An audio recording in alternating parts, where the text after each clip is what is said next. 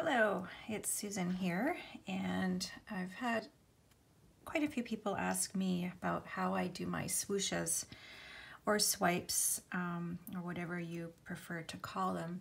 So I thought I would just do a little video here for you. So here's an example, um, hopefully it's not too shiny. Uh, here's an example of um, some of the different kinds of swooshes that I've done in one, one mandala. Um, some from these really sort of chubby looking ones to more of the, the finer type ones like this. Um, now they're not perfect, but the overall picture, you can get the idea there. Um, here's another example of using swooshes to create a design um, just bringing them all in different sizes and even attempting to top dot or top swoosh, which is pretty hard because I'm impatient and you really need to make sure your paint is dry to do that. Uh, I've got another example and these are some bigger, rounder, chubbier swooshes. Lots of swooshes in this design. I love metallic paints. They, they really, really look great. Yummy.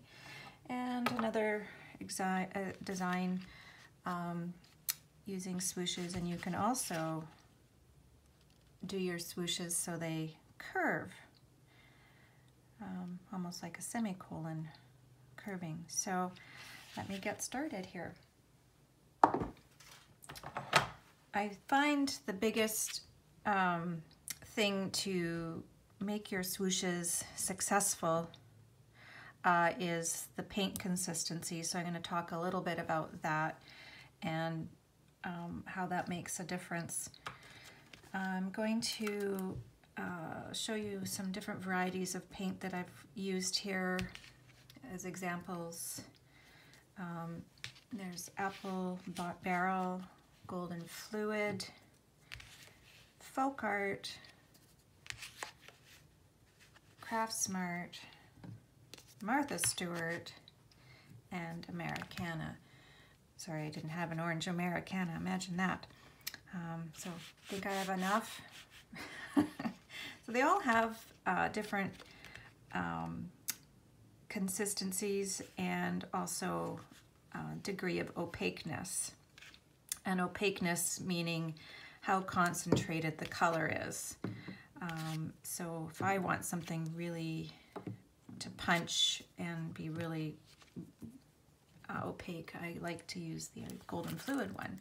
I find if, even if you add a little bit of golden fluid to your maybe your craft smart or apple barrel paint where it may be not as opaque because they don't have as much of the concentrated um, color in there um, so it dries a little bit flat so just adding a couple of drops of this will do the trick okay so I'm gonna start off doing the typical swoosh that most people do or swipe is placing a dot and then just dragging it. Um, this is the Craft Smart one. Uh, I find it a little bit liquidy, so the more liquidy, the longer the, the drag will be. Um, where, um, let's see if this one will cooperate, or Americana.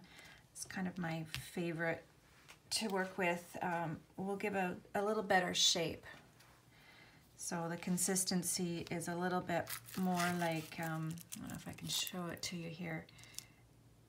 It has a slight, slight um, peak when you play with it, but it, it flattens out really fast. And where um, this one is, well actually surprise. Oh, it's because it's got a blob in there. That's not too bad. For apple barrel, I thought it would be a little bit thinner. Um, but the Craft Smart one is pretty fluid. It doesn't, it doesn't peak up as much, so it's quite a little bit more runny. where the Martha Stewart one, well, you can see right away it's, it's blobby. And when it's thicker like that, when it's thicker, well, that's not too bad. but when it's thicker, your, your drag will sometimes be a little bit shorter. So it's important, anyway, the moral of the story, it's important to check your consistency. Um, try it out on a surface before going ahead with your dotting, just to see that it's the right consistency. And if it's not, there's a couple of things we can do to change it. Um, I'm not a sponsor of Liquitex, but I really like this stuff here. Um, it's called Flow-Aid and it's a concentrate so you read the instructions on the back and you can make your own solution um, and so a little bottle like this will last me a long time so it's worth the money uh, if you have one that's a little bit thick then you can use um, the well this is one product there's lots of different products out there but I use this heavy gel and it's, it is, it's a heavy gel. And you just add it a little bit at a time to your product to get the right consistency. So let's get my focus here, making sure we're not going blurry. So techniques, um, standard technique that is out there is to dot and drag. Um, if you want it to be a little bit bigger, I kind of load it up by um, adding more paint and then you can drag and you can get a bigger dot. So it's the same size tool, um, but you just adding more paint and you can just, as long as you keep adding it to the same spot, you can load it up to get even a bigger dot. So you don't actually have to change tools, which is kind of nice. Um, if you wanted it to make it go even longer, you get a smaller sized, smallest sized tip tool that you can and get a little bit of paint and you place the tool not down here but somewhere in the middle so when it squishes out it's going to keep the shape and you can carry on and making it even longer and I do that um, a lot to get the super long shapes. Um, so hopefully that helps. Um, you can take your dotting tool and you can also just use it like a paintbrush or a pen and you can create different shapes. Like that. Um, now, this is a, a dry cardstock that I'm showing you here. Um, the other thing that I could suggest is your dotting surface be sm very smooth. The smoother your dotting surface, the better your swooshes will look. Um, whether you spray your surface with uh, sealant first or in this case, I had this beautiful rock, but it had a little bit too much texture. So with with my leftover resin, I I put a coat of resin on it. And to get some nice swooshes, it goes on like just smooth as in anything. I really, really like dotting on a very smooth surface. Um, just goes where you want it to go, pretty much, within reason. Um, here's a Runny Craft Smart one, and I can get it to go really long because it is a little runnier consistency. So as you can see, you just play around with it, have some fun. Um, what else? Oh, okay, I have one other type of swoosh to show you, and that's these uh, chubbier ones, you can see that, like that. So what I use is a one of my dotting tools. These are the DIY Mandala Stone dotting tools. And I get those um, from Etsy. That's where I get them from. and it's probably my favorite dotting tool that I've used of all the different ones available out there. So what I do is I place a big dot like that. Um, sometimes I load it up so that it has a good little well of paint there. There you go. And then I take that small stylus and I bring it down. So now it looks like a lollipop.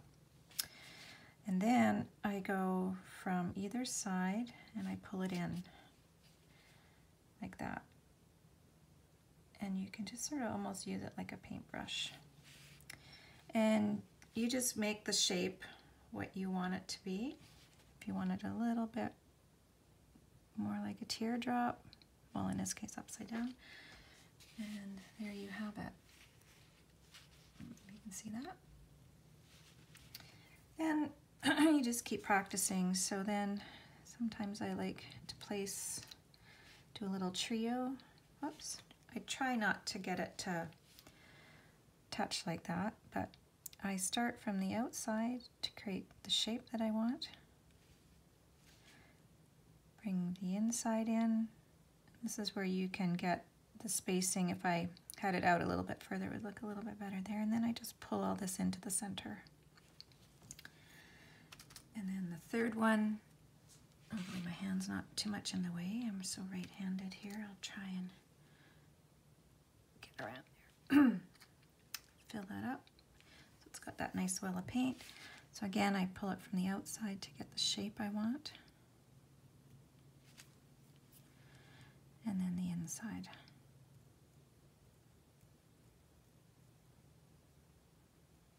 There. So now I have a little trio. And if you're patient enough, you let that dry really well, you can do a, a second layer on top or even a third if your dots are big enough. And, oh, sorry, that was Jasper saying good morning, everyone. anyway, I hope... Oh, you want a dot too, Jasper? Aww. Hi. Yes, you're going to get a little bit of cat DNA in most of my work. Okay, y'all, hope the swooshes uh, help and you have some a little more success with that. Hope it helps and you have a great day.